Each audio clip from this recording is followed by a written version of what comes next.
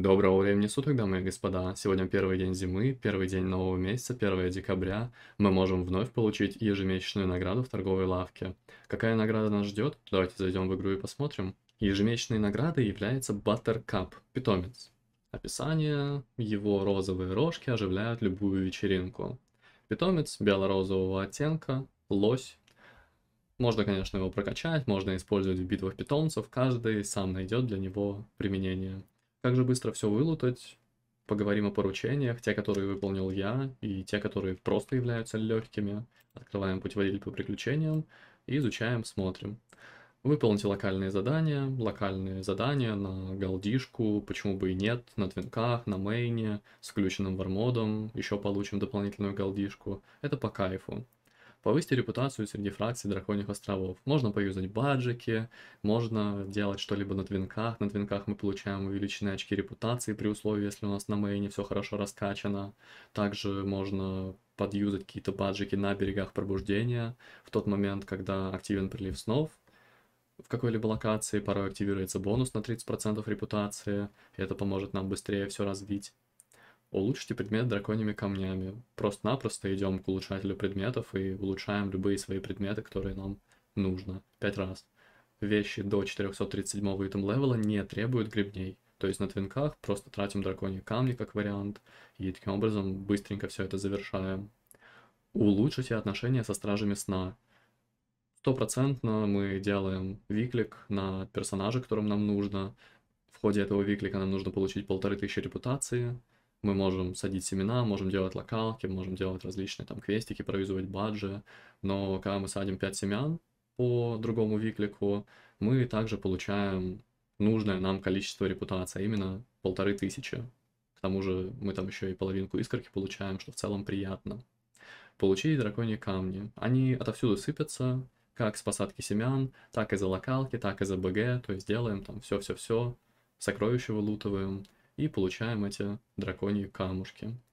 Появите босса вне подземелья на драконьих островах. Появился новый у нас World Boss, это Аурастор, который находится в изумрудном сне. Можно на твинке как вариант кильнуть, быть может шмоточка выпадет, таким образом немножко приодеться. Выполните задание в Нардсколе. Не знаю почему, зашел на воина, и мне сразу это засчитало. Как бы окей, почему бы и нет. Дополнительные поинты для полосы это всегда приятно. Выполните локальное PvP задание. Включаем вармод, открываем карту, и то локальное задание, которое будет со скрещенными мечиками, оно и является PvP-шной локалкой. На текущий момент это необузданные чары. Вот так вот она выглядит, эта локалка. Выполните еженедельные задания по сбору ресурсов. Зашел на Драктира, у меня там горное дело и травничество, сдал нужные ресурсы, таким образом поручение закрылось. Выполните 10 заданий, 25 заданий. Любые задания, любые локалки, все миксуется, все просчитывается.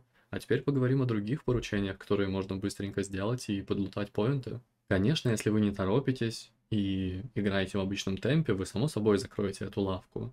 Но, быть может, вам просто хочется сделать все за один день, или вы там, например, оплатите числа 30-29 игру и захотите, да, открыть торговую лавку, получить питомца.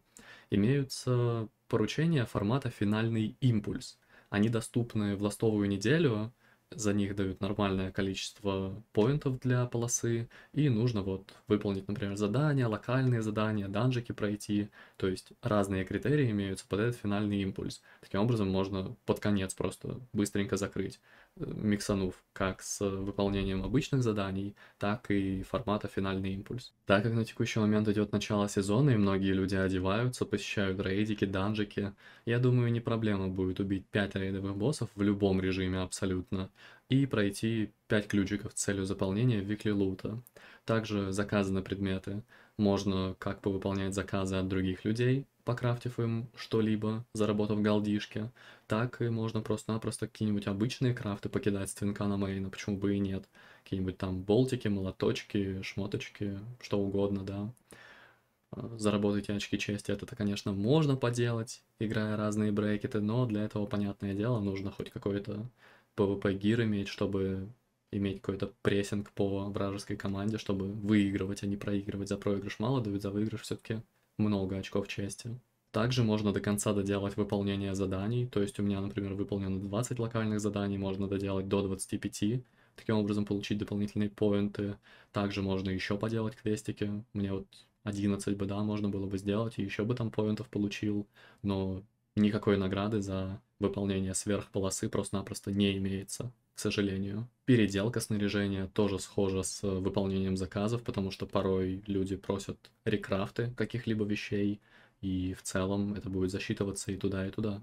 Убийство короля Лича, если вы до сих пор ходите за непобедимым, то почему бы и нет. К тому же это еще и будет засчитываться в убийство рейдовых боссов. По факту у нас не так много поручений, которые закрылись бы за 10, за 15 минут, но все-таки быстро выполнить торговую лавку можно.